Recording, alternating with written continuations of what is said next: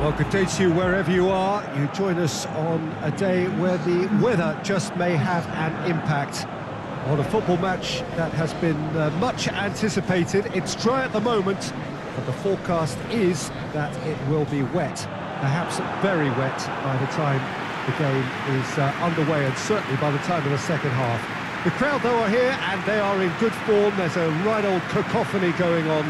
The atmosphere is terrific and kick-off is moments away.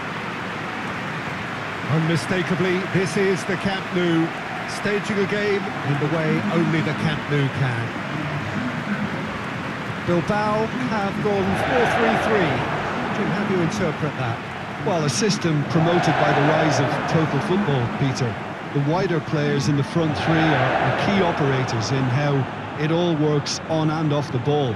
They have to provide for the central striker, of course, and protect their fullbacks, so they'll get few breathers.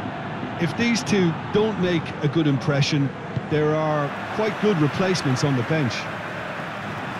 We have already started here.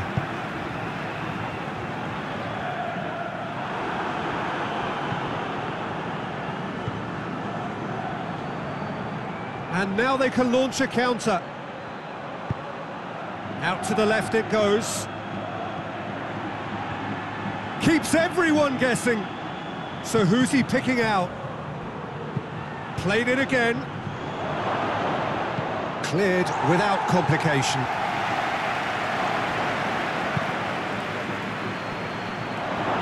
It's a long pass, but not the most accurate.